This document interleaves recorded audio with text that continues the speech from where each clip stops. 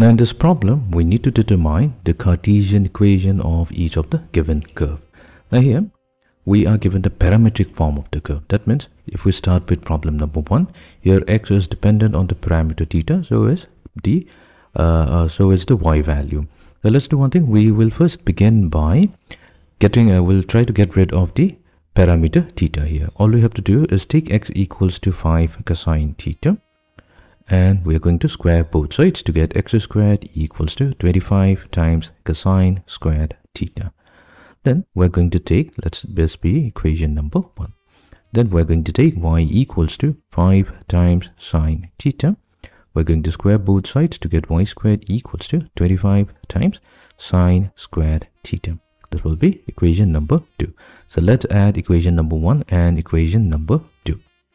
On the left hand side, we will get x squared plus y squared. And on the right hand side, we take 25 as the common factor. So 25 times cosine squared theta plus sine squared theta. Now, cosine squared theta plus sine squared theta, that's a identity. And it has a standard value of 1. So that means this value will be simply equals to 25.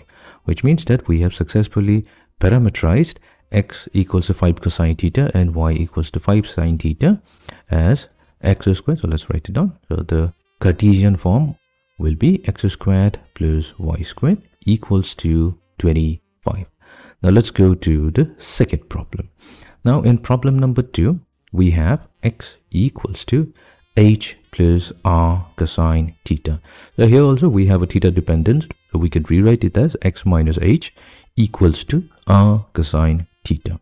We're going to square both sides to get x minus h whole squared equals to r squared cosine squared theta. This will become equation number 1. Then we will take the uh, y value. The y is given by k plus r sine theta. So we get y minus k whole squared equals to r squared sine squared theta. So this is going to be number 2.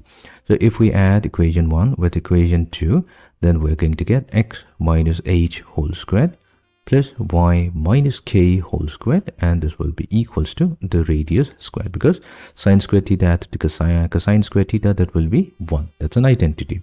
So we have obtained the cartesian equation of the second problem. So that's x minus h whole squared added to y minus k whole squared equals to r squared. Now let's do number three.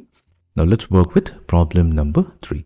So here we are given x equals to negative 2 plus 3 cosine theta.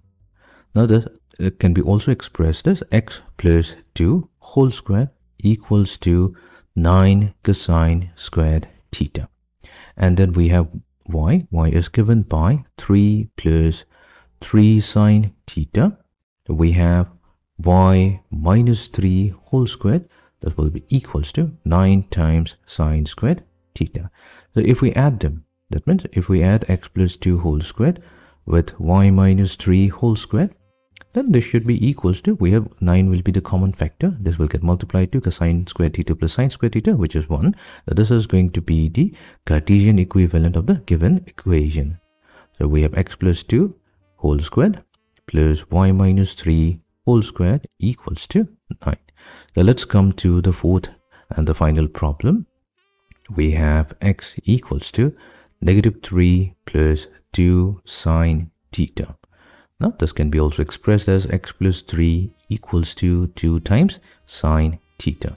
Squaring both sides we get x plus 3 whole squared equals to 4 times sine squared theta. This is going to be our first equation. Then we have y equals to 4 plus 2 cosine theta. So using the same steps we get y minus 4 whole squared equals to 4 times cosine squared theta. So this is going to be equation number 2. So adding 1 and 2, we get the final Cartesian equation. We have x plus 3 whole squared plus y minus 4 whole squared will be equals to 4. So therefore, the Cartesian equation of the given parametric equation will be x plus 3 whole squared plus y minus 4 whole squared equals to